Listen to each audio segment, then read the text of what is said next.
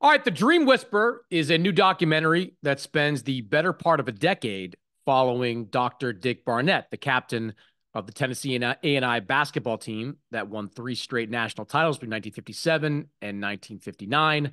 Uh, on Barnett's quest to get Tennessee A&I into the Basketball Hall of Fame. The doc will appear on PBS stations throughout February and be available on the PBS app on February 1st. Eric, Eric Drath is the director and executive producer of the Dream Whisperer. And Eric, I, I watched. I, am familiar with with Dick's story and, and the mission that he had, uh, but I watched it with someone that was completely unfamiliar with it, and th- this person was watching with me, like throughout the documentary, you know, found herself rooting for, you know, this to play out the right way. Like it was kind of like, it, is he still alive? Is, is his team going to get in? Because it became like engrossing in that sense. So I encourage people, even if you know, if you know the outcome of the documentary or the end results, uh, watch it with somebody that has no idea because it it it reels them in pretty quickly.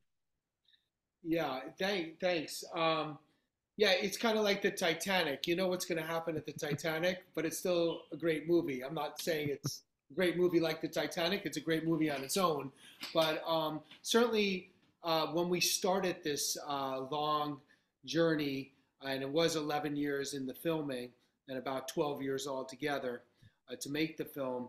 You know, the odds of getting into the Hall of Fame were stacked way against us. Uh, I don't even know if they qualified at that point uh, to be on the, the consideration list.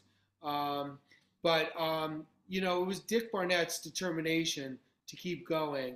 Uh, that's just infectious. And we just said, you know, we're just going to keep going and see whatever happens. You know, if, if they didn't get in, that would be the story too. Um, but we knew that the story itself, based in 57, 58, 59, was interesting enough and powerful enough to make a documentary on its own.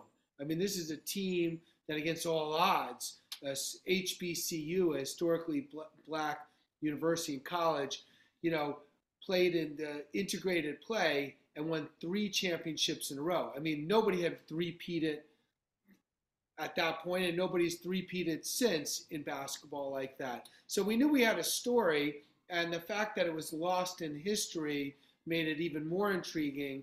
And then contemporary following Dick Barnett, trying to get the world to pay attention and to listen and to remember this team seemed like a perfect fit. I think a lot of people are familiar with the story of Texas Western, which was obviously immortalized in Hollywood in Glory Road. This story, Tennessee A and I, preceded Texas Western. I mean, they went through, you know, a lot, you know, during that time. Um, you know, the Jim Crow era in the U.S. Uh, I know that a lot of this flowed from George Willis's column, my friend formerly with the New York Post. Just kind of walk me through the genesis of all this and why you believe this was worth the investment. I mean, I said the top better part of 10 years, more than 10 years, obviously, to put this uh, this whole documentary together. Well, I, you know, I share the same admiration for for uh, George as, as you as you do. I mean, George is a, a top-notch journalist, and, and when his article came out in the Post about Dick Barnett and you know, the, you know, trying to get some attention for this team, um, it was actually sent to me by the executive producer Ed Peskowitz, who is a lifelong basketball fan, just an incredible guy and uh, you know said, "Wouldn't this be a great story?" He had seen the documentary that I did for ESPN, one of the 30 for 30s called Renee on Renee Richards, and he reached out to me out of the blue and said, "You know, would this be a good story?" And I said, "Yeah, this would be a great story. I just didn't know that it would be such a long journey." So when we started filming, uh, you know, the odds were against us, like I said, but but we just kept going, you know. And, and obviously, when you're doing a project like this, it's not like 11 years of every day working on it. I, I produced and directed a bunch of films in between the time we started and the time we finished. Uh, but this always was calling my name. This was always getting back to us. And, and Dick and I had this little funny thing. He'd call me up and he'd go, TSU, which meant get on it. We're going, we're going to the garden to see uh, Clyde Frazier and Spike Lee, or we're going to see Al Sharpton, or we're going here to Tennessee State to to, to try to get the president to do something. So I knew when he called, it's time to fire up the cameras and, and, and pack my bags. Yeah, and that just spoke to Dick Barnett's passion for, you know, this. Um, you know, a lot of the people he talked to, I, I don't want to use the word ambush because it has a negative connotation, but like he just walked right up to Spike Lee and said, We gotta make something happen. Walked up to Clyde in the garden, footage that is on the documentary. As you mentioned, going to Tennessee State and, you know, you know, forcing these meetings to to get people involved. Al Sharpton forcing him to to get involved. Why did you find him to be so passionate about this for so long? You know, it's just in his DNA. It's the same way that he practiced. I mean, you know, talk about a guy who just would, you know, shoot and shoot and shoot. You know, Senator Bradley talks about it. I mean, he's just got this uh, persistence and determination unlike anyone that I've ever seen. And, and similar to the way he played, because, you know, he was on the great 70 and 73 Knicks teams that won championships. He wasn't a big talker. He led by how he played. And he led this movie by what he did, not what he said. Obviously, he, you know, would say, you know, certain things. But I really learned a lot making this this film with him and seeing him just, you know, just go up to everyone. And, and one of the things that, that I kind of realized watching the film recently, because you know you make these films and you just watch them and you watch them for, for, for all kinds of reasons. You know, after they won their championships, you know, they didn't have the national acclaim that a team today might have. They didn't go to the White House. They didn't, uh, you know, they weren't on the the, the boxes, uh, the Cheerio boxes. They went back to Nashville because that's where the school was, and they were in the sit-ins they participated in the protest. They were going for, for equal rights for, for, for black people at the time. So they went to sit-ins in at the lunch counters where they sat in the white uh, seat only area. They were spit on. People threw uh, milkshakes on them.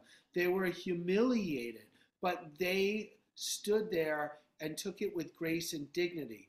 And what I realized is that that must have had such a impact on him that now a guy like Spike Lee blowing him off doesn't deter him. He keeps going. And, you know, like I learned a lot. Like, yeah, that's how you may get things done.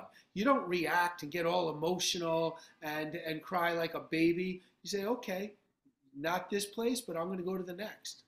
Why do you think it took as long as it did to get this team into the Hall of Fame? I have to imagine that that you believed at different points that it would happen before 2019. That you know, this is a, a ready-made story for the Hall of Fame. You know, a pioneering all-black team, um, winning three straight national championships. There, there are. I don't want to say lesser figures, but there are, are less qualified, I would say, Hall of Fame inductees than this Tennessee A&I team. Why do you think it took as long as it did? I don't think that they had the political and PR machine behind them. First of all, TSC. Kind of a shame that you need that, though, right? Like, I mean, the story should speak for itself. If you like, it's kind of like that old saying, like, you got one job, Hall of Fame. Like, you know, your one job is to identify stories of this caliber and, you know, execute what you're supposed to execute. Yeah, and I, I mean, even when it was brought to their attention that there was such an oversight, it still took all of these years to finally get them in. And it, I think one of the reasons is is that you know it wasn't like commercially you know um, opportunistic for them to go in. It was it was you know there weren't big dollars behind this. There wasn't some big you know campaign that could go behind this. This was one man's journey to make the world hear it, and we thought that that was something worth telling. You know, so that's that's exactly you know why this is got done. It's because of Dick Barnett. Yeah, and I don't know if there's a villain in a story like this, but I got to tell you, Eric, the president of the Hall of Fame has a little villain in him. It seems like, or he, he gets the you you kind of look at him and you you squint a little bit at him. You get a little angry at him for some of his explanations as to why this uh this team didn't get in the Hall of Fame. And one of the things that was notable to me, and again, I encourage everybody to watch it from start to finish, at, at the very end, when, and I'm blanking on his name, you obviously know it, I'm blanking at the top of my head, but he he walks over to Dick Barnett uh, shortly after Dick gets there, and Dick's sitting in a cushioned chair, and he sort of pats it, whatever you need. And you kind of let the key, and he walks away, and Dick looks like he's just sort of staring at him.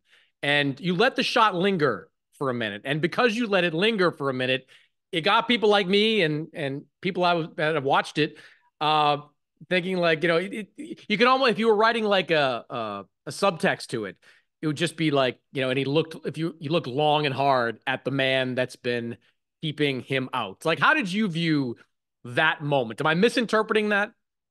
Not at all. In fact, it could have been a lot worse with the footage we had. we, we it wasn't uh, you know the footage speaks for itself. It could have actually told much worse volumes. Uh, we actually went to some lengths to, to, to, to try to not bury anybody. But, but, but the individual you're talking about was just the spokesperson and the figurehead for the institution. Mm-hmm.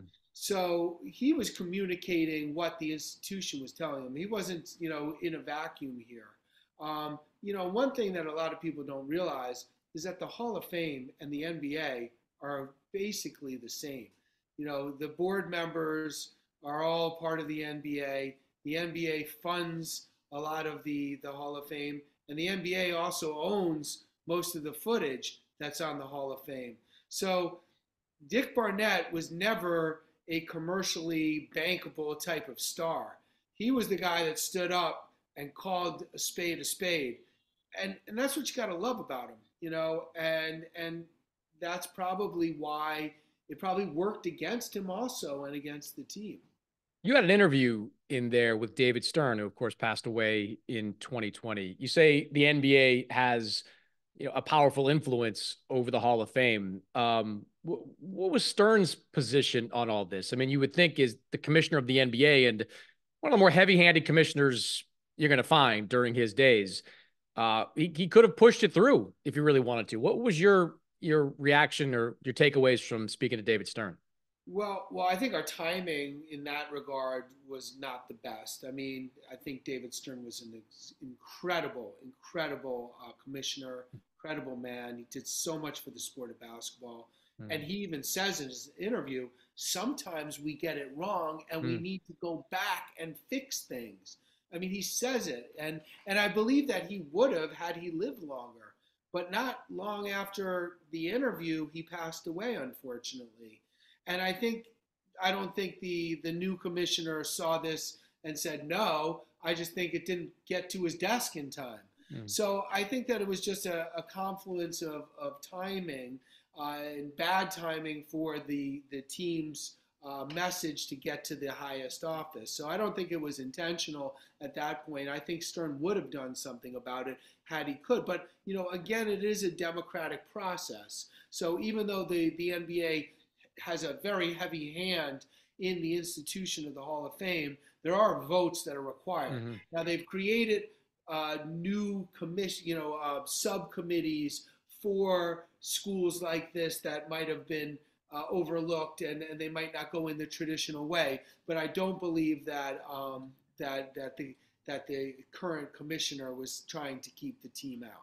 You know, one of the things I thought was was interesting um, was you know it's one thing to be unknown or kept out of the Basketball Hall of Fame, a national global institution. When you went back to you know to Tennessee and we're interviewing kids on campus and I think some faculty members even on campus, like they didn't know anything about this team, you know, that was there. I mean, how how surprised were you to find out that even, you know, in his own backyard, that, you know, those championship teams just didn't resonate? Yeah, I mean, I don't, you know, it's hard to, to point fingers, but for whatever reason, the school completely dropped the ball on this. And they even admitted, I'm mm-hmm. Teresa Phillips, who's an extraordinary uh, individual. She played, she was the athletic director. She says it in the film. Somehow we missed the ball here, you know, and there was, it was almost like, you know, there was no um, effort until we started. And even when we started, it was hard to get the school to take it serious. Mm-hmm. They, you know, as you'll see in the film, and I don't want to give away the whole film, but I think it's it, in the totality, it's still worth watching. But you know, he goes to the school and they send him to the Greek organizations. I mean, I don't know how powerful the Greek organizations were in your college, if, you know, but if you had them, but in our school, we were we were fighting for an existence. So mm-hmm. sending sending something to the Greek organizations was almost sending it, you know, uh, to to you know to you know nowhere. So so again, you know, the school didn't really have the wherewithal to to to promote it. You know, they did show up when they finally got to the the Hall of Fame. Some of these, you know, but but the school definitely um, carries some responsibility for letting this story kind of fade off and for you know not communicating to the students today how important this story is not just for Tennessee but for all HBCUs and for America to know what happened when we were integrating when these you know championships were being played and under what circumstances they were being played this was as we've noted, a long process with for Dick Barnett. I'm sure a lot of disappointments along the way. As you were kind of immersed in this, did you ever feel like he was ready to give up?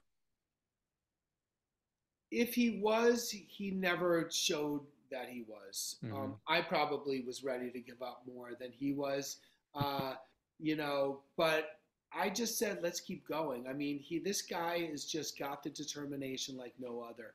Uh, you know, even today, and what brings us to this interview and should not be uh, forgotten is that there's an effort now uh, to get the team, the last remaining living players of the team, to the White House finally, mm-hmm. to you know, to, for their finally their their their moment in the sun.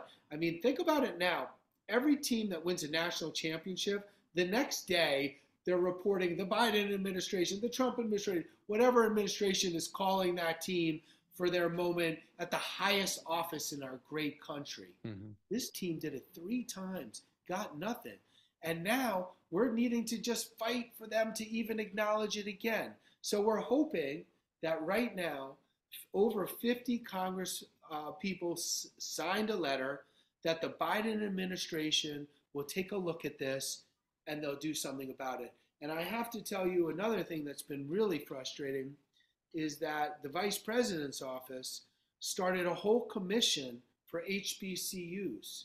And the chair of that commission is the president of TSU.